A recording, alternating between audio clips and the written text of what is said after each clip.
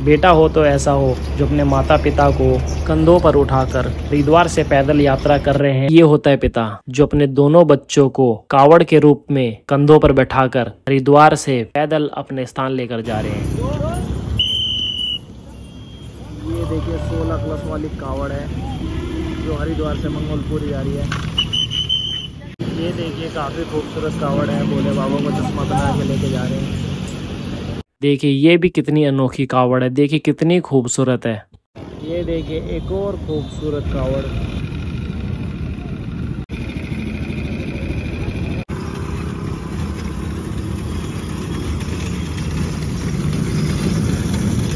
अभी हम निकल रहे हैं हरिद्वार से और रास्ते में हमें कई सारी विशाल विशाल कावड़े दिखेंगी तो हम आप सभी को सारी विशाल कावड़ दिखाएँगे। यहाँ पर कौन कौन सी कावड़ आई थी?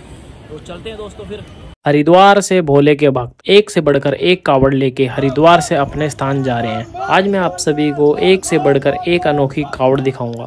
देखिए कितने सारे भोले के भक्त एक से बढ़कर एक कावड़ लेके जा रहे हैं। यहाँ पर आप सभी को एक से बढ़कर एक कावड़ देखने को मिल जाएगी। तो भोलेनाथ को ही अपने कंधे पर बैठा के ले जा रहे हैं। ये देखिए काफ़ी मात्रा में काफ़ी लीटर जल लेके एक भक्त आ रहे हैं। एक बोले बोले कितना जल है? एक सौ इक्यावन लीटर जल देखिए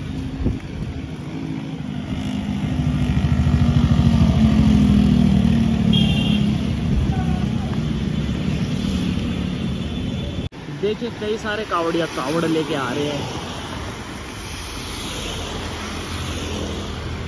बोले कितना जल है? साढ़े सात लीटर। साढ़े सात लीटर। बोले आपका कितना जल है? अच्छा अठारह। अच्छा कितना कुमार मानो दो सौ बीस। ठीक है कोई नहीं मुझे सर्च कर लेना इंस्टाग्राम पर पंडित देखिए कितने सारे कावड़िया हैं। जो गंगा जल लेके अपने स्थान जा रहे हैं।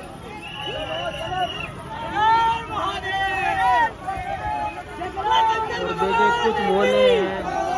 जो भोलेनाथ जी को ही अपने कंधे पर बैठाकर अपने स्थान पर लेके जा रहे हैं। काफ़ी खूबसूरत खूबसूरत कावड़ हैं।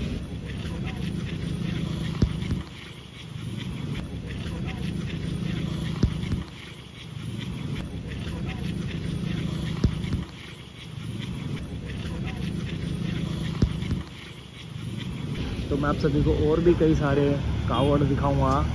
तो चलते हैं थोड़ा और आगे, और भी आपसे को दिखाते हैं यहाँ पर, और कौन कौन से कावड़ आए हैं इस बारी।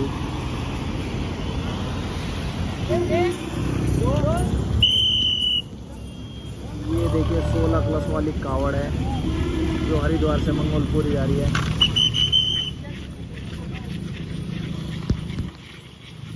काफ़ी खूबसूरत खूबसूरत कावड़ हैं। तो मैं आप सभी को और भी कई सारे कावड़ दिखाऊँगा। तो चलते हैं थोड़ा और आगे, और भी आपसे व्यू दिखाते हैं यहाँ पर, और कौन कौन से कावड़ आए हैं इस बारी। ये देखिए, काफ़ी खूबसूरत कावड़ है, भोले बाबा को चश्मा बना के लेके जा रहे हैं।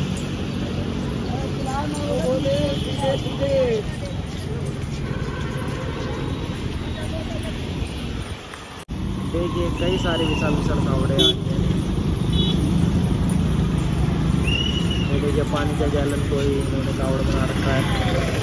चालीस लीटर में गंगा जल अपने स्थान लेके जा रहे हैं। और देखिए इन्होंने कलश को और देखिए इन्होंने कलश में गंगा जल अपने स्थान लेके जा रहे हैं। और देखिए ये है कलश वाली कावड़।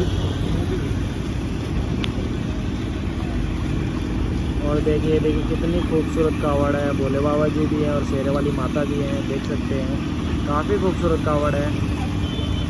बारिश की वजह से इसको पन्नी से ढक रखा है।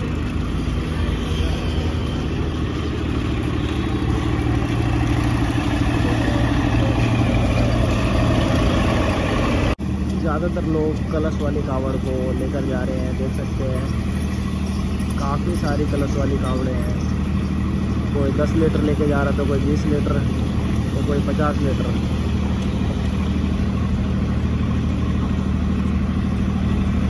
और ये बाँस के लकड़ी वाली कावड़ है, जो काफ़ी पुरानी कावड़ है, देख सकते हैं। काफ़ी खूबसूरत है ये भी। और पीछे देखिए मोर के पंख वाली कावड़ है।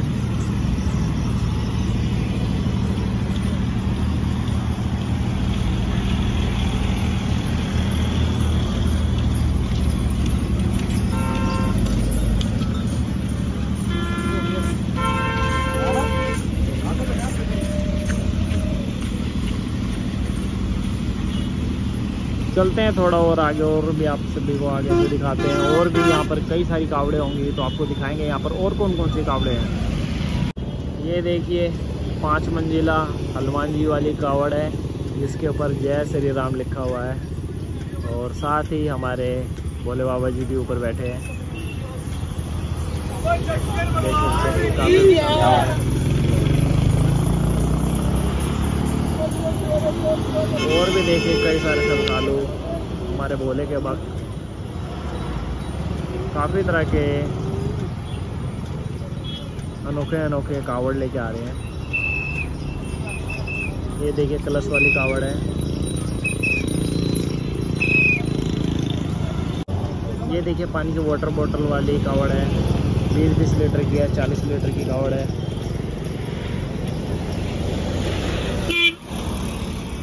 काफ़ी तरह की अनोखे अनोखे कावड़ ये भोले के भक्त बनाते हैं और हरिद्वार से अपने स्थान तक लेके जाते हैं। और ये भी देखिए, दो मंजिला कावड़ है। जो ये भक्त लेके जा रहे हैं। और ये देखिए, एक मंजिला कावड़ है। और इसके पीछे फिर से कलश वाली कावड़ देख सकते हैं।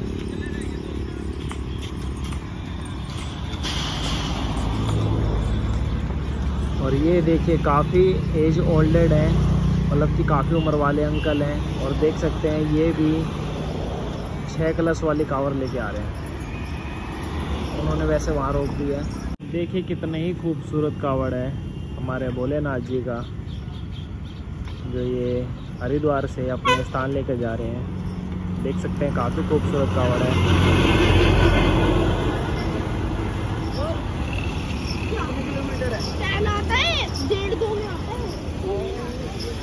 प्रथम विशाल शिव कावड़।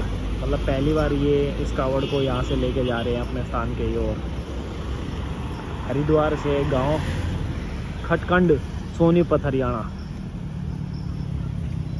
देखिए, ये है कावड़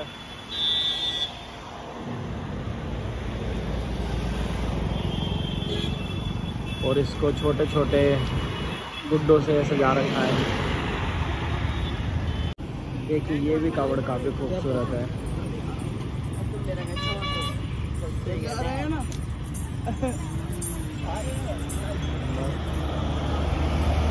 ये देखिए कितने बुज़ुर्ग हैं। उसके बावजूद गंगोत्री से पैदल यात्रा कर रहे हैं अपने गाँव तक क्रह गाँव मुरैना मध्य प्रदेश के लिए। मानना पड़ेगा देख सकते हैं। इतने बुज़ुर्ग होने के बाद भी इतनी दूर तक ये पैदल यात्रा कर रहे हैं। ओल्ड इज़ गोल्ड कहते हैं ना ये वही इंसान है। और देखिए ये भी कावड़ काफ़ी खूबसूरत है। देखिए ये भी कितनी अनोखी कावड़ है। देखिए कितनी खूबसूरत है। आपको यहाँ पर एक से बढ़कर एक अनोखी कावड़ देखने को मिल जाएगी।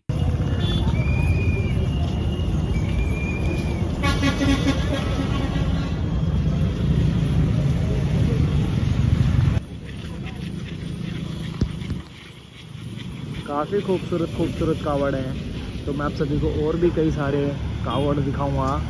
तो चलते हैं थोड़ा और आगे, और भी आप सभी को दिखाते हैं यहाँ पर और कौन कौन से कावड़ आए हैं। ये देखिए, एक और खूबसूरत कावड़, काफ़ी खूबसूरत है, देख सकते हैं।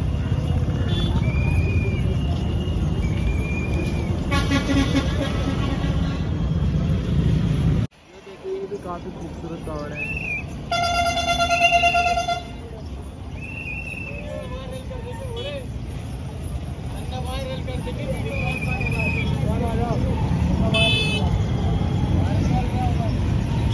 चौथा विशाल कावड़। हरिद्वार से दिल्ली। ये देखिए एक और अनोखी कावड़ में हमारे खाटू श्याम जी हैं। और पीछे देखिए तिरंगे वाली कावड़ आ रही है।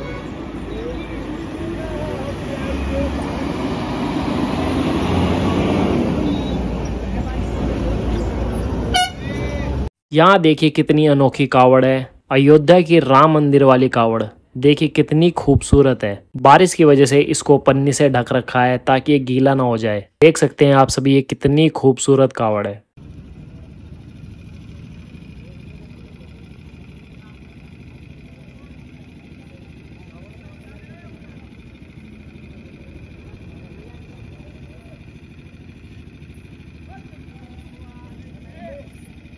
ये देखिए सबसे अनोखी कावड़। बेटा हो तो ऐसा हो जो अपने माता पिता को कावड़ में बैठा के कंधों पर उठाकर हरिद्वार से पैदल यात्रा कर रहे हैं अपने स्थान के लिए। जिस तरह से सरवन कुमार ने अपने माता पिता को कंधों पर बैठा के यात्रा कराई थी उसी तरह से ये दोनों बेटे भी अपने माता पिता को कंधे पर बैठा के हरिद्वार से पैदल यात्रा कर रहे हैं।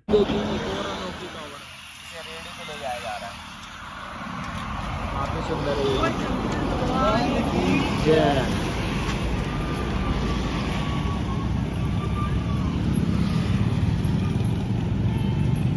देखिए, ये भी कितनी अनोखी कावड़ है। देखिए, कितनी खूबसूरत है। आपको यहाँ पर एक से बढ़कर एक अनोखी कावड़ देखने को मिल जाएगी।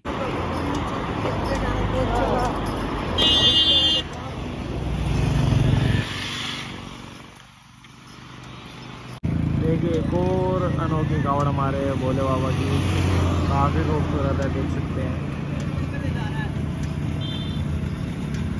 देखिए चश्मा वगैरह लगा के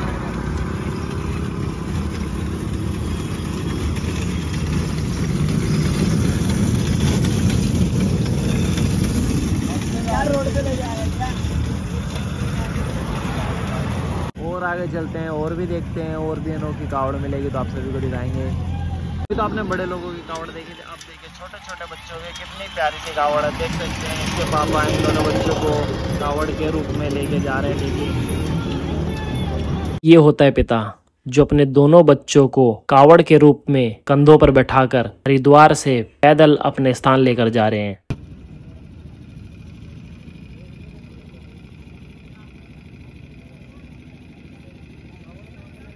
देखिए ये भी कितनी अनोखी कावड़ है। देखिए कितनी खूबसूरत है। आज के लिए बस इतना ही। अब हम आप सभी को मिलते हैं नेक्स्ट ब्लॉग में। अगर आप सभी को हमारी वीडियो अच्छी लगी तो वीडियो को लाइक करना ज़्यादा से ज़्यादा शेयर करना और चैनल को सब्सक्राइब करना ना बोला दोस्तों।